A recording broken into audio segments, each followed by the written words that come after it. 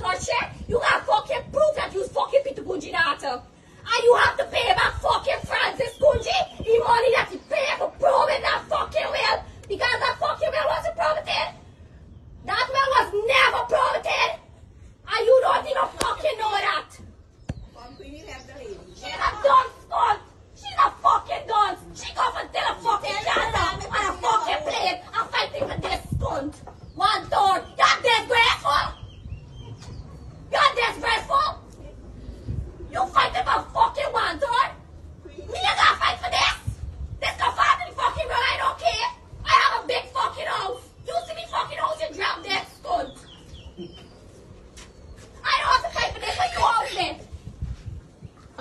All of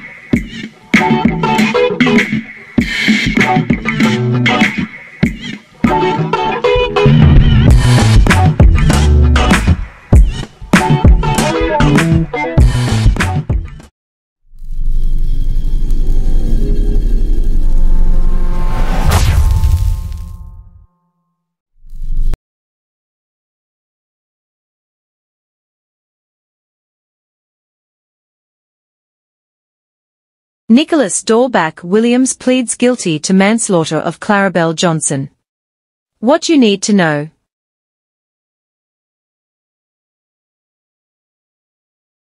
Welcome back to Guyanese Voices. Today, we dive into a harrowing case that has captured the community's attention. Nicholas Sean Williams, infamously known as Dhall Back, has pleaded guilty to killing his reputed wife, 28-year-old Clarabel Johnson. We encourage you to share your thoughts on this developing story in the comments section below. If you have any news stories you'd like to share, message us on WhatsApp. Don't forget to like, share, and subscribe to our channel for more updates on this and other breaking news stories. This tragic case sheds light on the dark realities of domestic abuse, and as we unravel the details, we are reminded of the importance of justice and the community's role in addressing such tragedies. In this video, we'll take you through the details of William's recent court appearance, the events leading up to this tragic incident, and the story behind Johnson's tragic death. Let's dive into the details. During his recent court appearance at the Demerara High Court, Williams faced a capital murder charge, but he accepted a plea to the lesser count of manslaughter. This change in the charge means that he will likely face a different sentencing outcome, which will be decided by Justice Joe and Barlow on November 21. Williams, 50, was represented by his attorney, Kiswana Jefford, while state attorneys Pranetta C. Raj, Mikkel Purin, and Bina Christmas prosecuted this sensitive case, bringing justice closer to the grieving family and community. Let's now recount the tragic events of October 6, 2020. According to reports, Williams attacked Johnson near her home on Cooper Street, Albowers delivering a severe chop wound to her right knee. The wound was devastating, severing a major artery and causing extensive blood loss. Despite being rushed by concerned citizens to the Georgetown Public Hospital Corporation, Johnson succumbed to her injuries shortly after arriving. Following the attack, Williams attempted to evade capture, fleeing the scene.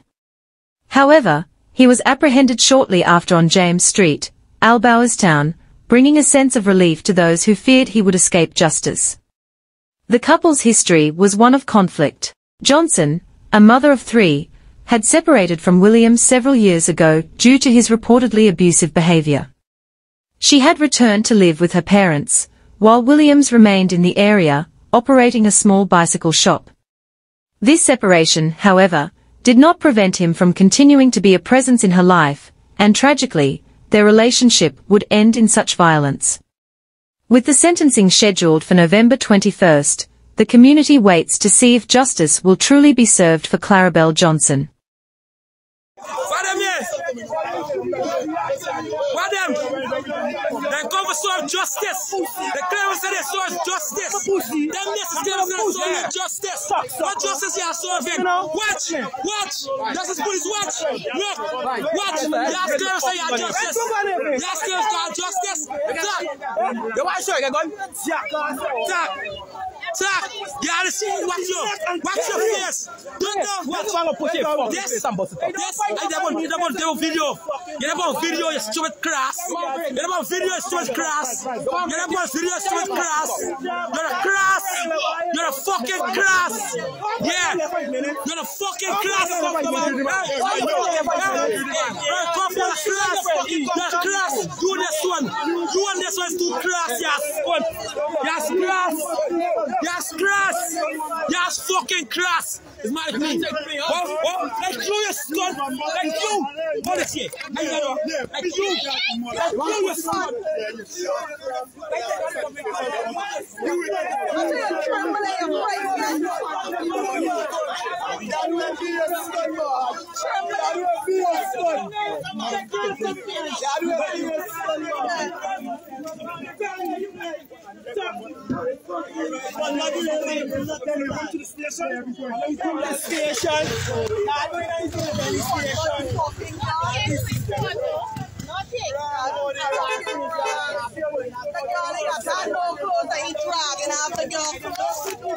Take care of fucking self. Let's feel. Is that take, take care of everybody, son, to yourself, man.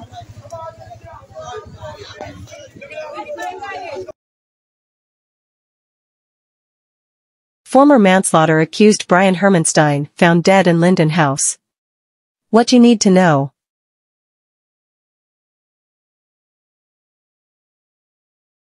Just months after being acquitted of manslaughter, 25-year-old Brian Hermanstyne was found dead in his Linden home. This sudden development has left the community in shock, raising questions about what might have led to this unexpected tragedy. Today, we'll dive into the details of this case and examine what's next in the investigation. After Brian's acquittal in May 2024, his life took an unexpected turn with this recent incident. His body was discovered around 5 p.m. on Tuesday in his home at Wismar Hill, Linden. Authorities are still piecing together the circumstances around his death, with an autopsy set to provide more answers soon. As of now, few details are available, and law enforcement has yet to release a full statement on the case. Brian and his brother, Eldon, were acquitted just a few months ago after being charged with manslaughter in 2022. The case had drawn significant public interest, given the nature of the charges and the eventual not guilty verdict. Many were still processing the outcome of that trial when news broke of Brian's sudden death, adding another layer to this complex story. This tragedy is a reminder of the weight that follows those entangled with the justice system and highlights the challenges they face even after freedom. As the investigation into Brian's death unfolds, the community is left with questions and concerns about what might have happened in the days leading up to this discovery. The autopsy results will shed more light on the circumstances surrounding Brian Hermanstyne's death. As we wait for further updates, We'll continue to follow this story and bring you the latest developments. With that said, thanks for watching, and until next time.